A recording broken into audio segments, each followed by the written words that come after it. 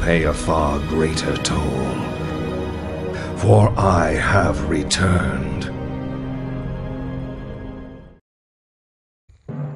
Next Ramas to raid przeznaczony dla graczy na level 80. Jest to pierwszy raid ekspansji Wrath of the Lich King. Na 85 levelu wybranie się na ten raid może być całkiem dochodowe, ponieważ wszystkie pieniądze i przedmioty trafiają do nas. W tym odcinku zmierzymy się z dwoma bossami. Pierwszym bossem jest Anub Rekhan. Solowanie go nie powinno być trudne. Autotaktyka oraz parę rzeczy, na które powinniśmy uważać. Rozpoczynamy walkę wysyłając naszego peta na bossa, przy okazji zarzucając na niego Misdirection. Odpalamy wszystkie cooldowny, trinkety, rapid fire oraz bestial wrath i nukujemy bossa.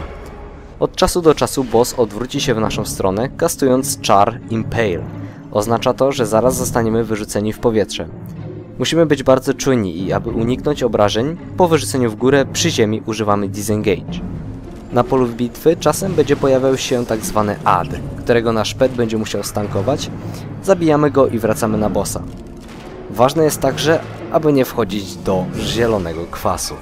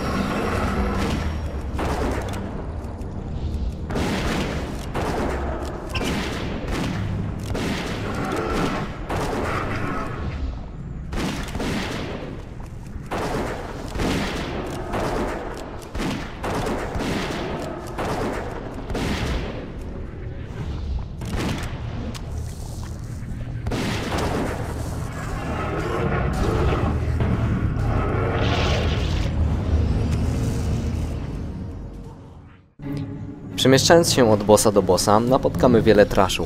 Większość z tych mobów bez problemu możemy ominąć, lecz jeśli chcemy zdobyć więcej golda, lepiej wybić wszystko, co znajduje się na naszej drodze.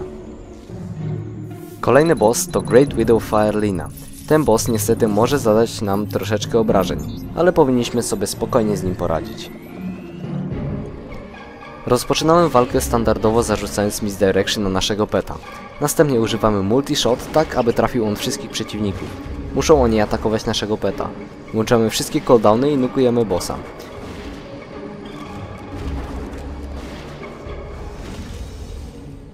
W pewnym momencie boss zdenerwuje się, zrobi się wielki oraz czerwony.